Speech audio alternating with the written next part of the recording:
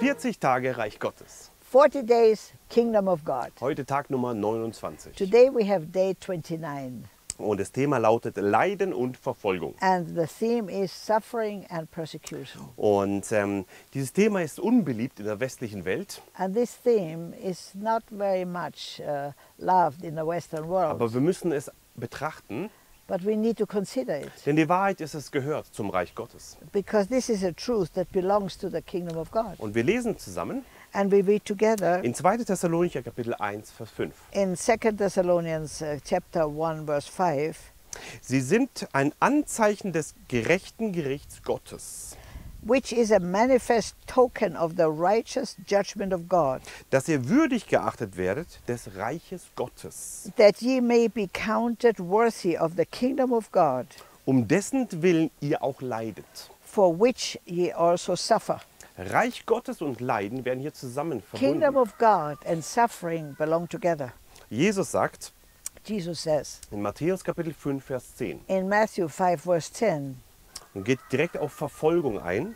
he uh, here he speaks about uh, persecution Und er sagt, glückselig sind die um Gerechtigkeit willen Verfolgten, it says blessed are they which are persecuted for righteousness sake denn ihrer ist das Reich der Himmel. for theirs is the kingdom of heaven Glückselig sind die um der Gerechtigkeit willen Verfolgten, blessed are they which are persecuted for righteousness sake denn ihrer ist das Reich der Himmel. for theirs is the kingdom of Wir heaven haben weltweit ganz viele Christen, die verfolgt werden. we have worldwide so many christians that are truly persecuted Menschen, die, die geschlagen werden, getötet werden, uh, people that will that are beaten that, that, that are killed die ins Gefängnis müssen. that uh, are thrown into prison Und, ähm, und Jesus sagt hier, glückselig seid die, die um Gerechtigkeit willen verfolgt werdet. and jesus says here in uh, matthew 5:10 blessed are they which are persecuted for righteousness Denn sake. ihrer ist das Reich der Himmel. for theirs is the kingdom of heaven. Jesus geht noch weiter. Jesus also continues. Und äh, sagt in Matthäus Kapitel 5, Vers 44, and says in matthew 5:44 nicht nur, dass wir Verfolgung erleiden, not only that we suffer persecution sondern er geht noch weiter und sagt, liebt auch noch eure Feinde. and he even goes on beyond that and says love your enemies Liebt eure Feinde und betet für die, die euch verfolgen, Love your enemies, bless them that curse you. damit ihr Söhne eures Vaters seid, der in den Himmeln ist. Do good to them that hate you, and pray for them which despitefully use you and persecute you. Das Prinzip des Reiches Gottes The principle of the kingdom of God heißt Liebe. is love. Liebe auch eure Feinde. Love also your enemies. Und was machen wir jetzt mit denen, die uns verfolgen? What do are we doing with those that persecute us? Betet für die, die euch verfolgen. Pray for those that persecute you. Liebt eure Feinde Love your und enemies betet für die, die euch verfolgen. and pray for those that persecute Aber wie you. geht das? How do you do Wie that? können wir das machen in so schwierigen Zeiten? How can we do that in such difficult Wenn times? Leute voll gegen uns sind. If people are totally against us, Wir dürfen uns einfach entscheiden. we can decide. Entscheiden für Freude. We can decide for joy. Paulus hat es auch erlebt. We can choose joy, and Paul even experienced Er hat it. so viele heftige Sachen erlebt. He has experienced so many ba- Aber er hat bad sich things, immer entschieden für Freude. but he always chose to rejoice. Ja, und das steht in, in Philippa 4,4. And in Philippians 4 4, we read, Da sagt Paulus, freut euch im Herrn alle Zeit.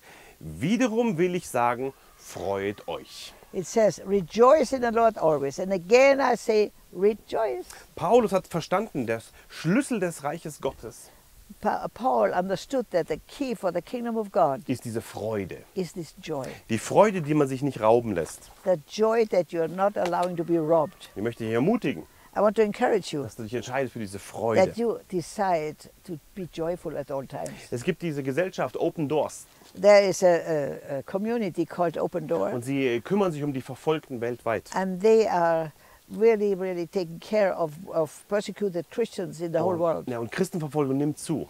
And the, the, the persecution of Christians is increasing, Märtyrertod nimmt zu. Und diese Botschaft wird immer, immer aktueller weltweit. And this message is becoming more and more popular worldwide. Als ich bei meinem, äh, in einem Himmelserlebnis Well- ähm, im neuen Jerusalem sein durfte, when I, during one of my heavenly experiences, was allowed to be in the heavenly Jerusalem, habe ich ähm, eine große Me Menge gesehen an Menschen, die Gott anbeten. I saw a huge group of people that worshiped God. Und ähm, die waren so erfüllt im Herzen. And they were so full in the heart. Sie So waren so glücklich. they were so Sie happy. haben Gott angebetet. They worshiped God. Die Engel waren auch dabei. Even the angels were Und there. alle haben Gott And angebetet. all of them worshiped God. Und ich frage Jesus, Jesus, was sind das für Menschen hier? And I asked Jesus, what, what kind of people are these Und here? Jesus sagt mir, es sind die Märtyrer, die ihr Leben gelassen haben für And mich. he said, These are the martyrs that left their lives Es for waren me. so viele Menschen. And so many were there. Aber sie waren zufrieden, weil sie Gott anbeten. But they were so content because they worshiped Sie God. haben ihr Leben gegeben für Jesus. They have given their lives for Jesus. Und, ähm, und ich, ich, ich äh, fange an zu sprechen mit einem dieser Märtyrer.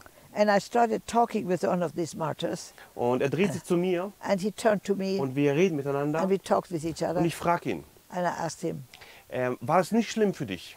Was it not very terrible for you? War es nicht hart für dich, dass du dein Leben gegeben hast für, für dein Glauben? Was it not hard for you to leave your, your life for your faith? Und voller Erfüllung kommt er gerade aus dem Lobpreis raus. And he just came out of uh, worship full with uh, being uh, filled with the love of Und er God. dreht sich zu mir And he turns to me und er sagt, jeden Moment, den ich auf dieser Erde erlebt habe, and he said, Every moment I lived on earth hat sich gelohnt was worthy, für die, was für die Herrlichkeit, for the glory die ich heute im Himmel habe. that I have today in heaven. Ich habe mich erinnert an Römer 8, 18, I, I remembered uh, of uh, I remembered uh, Romans 8:18 was Paulus sagt, what Paul said dass die Leiden der jetzigen Zeit fallen nicht ins Gewicht I reckon that the sufferings of this present time are not worthy to be compared gegenüber der zukünftigen Herrlichkeit, die an uns geoffenbart werden soll. with the glory which shall be revealed in us Die Herrlichkeit, die kommt, ist größer.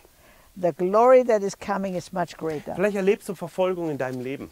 maybe you have persecution in your life Vielleicht erlebst du heftige Zeiten in deinem Leben. maybe you have very tough times in your Aber die life Herrlichkeit, die kommen wird, but the glory that will die come ist viel größer is much bigger im Vergleich zu dem, was du heute in erleidest. compared to what you have to suffer today Bitte bleib, bleib, bleib treu. please remain faithful Bete für die, die euch verfolgen Pray for those that und persecute liebt you eure Feinde. and love your Und ein enemies. Schlüssel ist immer, And one love, one the key is always freu dich alle Zeit. rejoice all the Auch time, wenn alles wehtut. even when everything pains. Aber du freust dich alle But Zeit. you rejoice all the time. Als die große Erweckung in China war When when the big revival came to China, und im Untergrund wurden äh, sind Gemeinden gewachsen.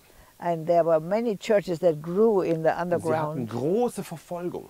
they had big persecution, Und, und sie haben zu der westlichen Welt gesagt, and they said to the Western world, bitte bet- betet nicht, dass die Verfolgung aufhört, "Please don't don't pray that this persecution will stop." sondern betet, dass wir durchhalten in der but Verfolgung. pray that we will stand uh, uh, strong and we, we, we, we are enduring this Weil sie persecution. haben verstanden, die Herrlichkeit ist umso größer. Because they have understood the glory is much Und greater. wir wollen diese Herrlichkeit nicht loslassen. And we don't want to let go of this glory. Ich möchte dich ermutigen. I want to encourage you. Vielleicht hast du richtig heftige Zeiten in deinem Leben. Maybe you have very tough times in your Und du life weißt nicht, wie du weitermachen and you sollst. don't know how to continue. Bitte bleib am Herzen Gottes dran. Please remain close to the heart Und, of und God lass nicht zu, and don't allow dass, dass du, dass, dass du ähm, enttäuscht bist von Gott. that you are, that you are disappointed for, with God. Die Herrlichkeit, die auf dich wartet, The glory that waits for you ist größer is much wie die greater Probleme, die wir jetzt haben. than all the problems we have now. Bitte bleib treu. Please be faithful. Jesus geht noch weiter.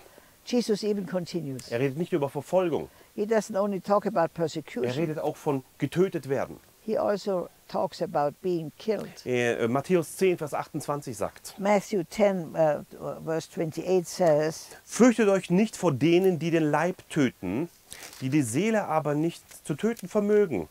Fürchtet euch vielmehr von denen, der sowohl Seele als Leib zu verderben vermag in der Hölle. And fear not them which kill the body, but are not able to kill the soul, mm. but rather fear him who is able to destroy both soul and body in Ja. hell. Jesus sagt, bleibt auf dem richtigen Kurs. The, the Lord Jesus says, remain on the right way. Ja. Fürchtet euch nicht vor denen, die euer Leib töten können. Don't be afraid of those that can kill your body. Sondern viel wichtiger ist die Seele, dein, dein innerer Menschen. But much more important is the soul, the inner man. Achte darauf, Watch it. dass du stark bleibst im Herrn. That you remain strong in the Lord. Wir haben ein paar Beispiele in der Bibel We have a few examples in the Bible von Verfolgung. from persecution. Pa äh, Stephanus wurde gesteinigt, Stephan, Stephanus was stoned, aber er hat die Herrlichkeit Jesu gesehen. But he saw the glory of Jesus. Einige, Gemeinde, einige Gemeindemitglieder wurden unter dem Befehl von Herodes geschlagen. Uh, quite a few uh, church members were beaten under the orders of Her- Herod. Der Bruder von Johannes, er heißt Jakobus, The brother of John was called er wurde auf Befehl ähm, von Herodes hingerichtet. Jacob, and he was he was killed because Her- Herod gave the order. Petrus wurde ins Gefängnis geworfen. Peter was called into the into prison, Ja. Äh, Paulus wurde ähm, auf Lystra gesteinigt. and uh, Paul was stoned in Lystra. Paulus und Silas wurden ins Gefängnis gesteckt. Paul and Si- Silas was were put into prison, Und Johannes musste auf die karge, felsige Insel Patmos. and uh, John needed to go to the very very desolate island of Patmos. Verfolgung und, und, und Leiden war ein Teil der Apostelgeschichte. Persecution and suffering was part of the story, Aber Paulus hat den Schlüssel ergriffen. but Paul got the key, Und den will ich dir jetzt geben. and I want to give you that key. Philippa 1, Philippians 1, Vers 21. verse 21. Das ist die richtige Sichtweise. That is the right way to look at things. Paulus sagt, Paul says, denn mein Leben ist Christus For to me to live is Christ, und Sterben ist mein Gewinn. and to die is gain. Für mich ist das Leben Christus For me, life is und Christ, Sterben ist mein Gewinn. and to die is Eine gain. meiner Lieblingsbibelstellen. That's one of my favorite scriptures. Wenn dein Leben Jesus ist, When your life is Christ, kann man dir nichts klauen, then they can steal nothing weil from Jesus kann man dir nicht wegnehmen. you. Jesus, they can take away from you. Bitte bleib im, im Herzen Jesu Stay, remain with Jesus in und your wisse heart. eins, wenn, du auf die, wenn die Zeit dieser Erde zu Ende ist, And, and when the, this, the time on this earth is over, kommt der größte Gewinn zustande. comes the greatest, greatest victory and gain in your life. Denn mein Leben ist Christus because my life is Christ, und Sterben ist mein Gewinn. and to, to die is my, Und is my, my gain. vergiss niemals, Never forget, du bist höchst begünstigt, you are highly favored, tief geliebt deeply loved, und mächtig gesegnet. and powerfully blessed. Amen. Amen.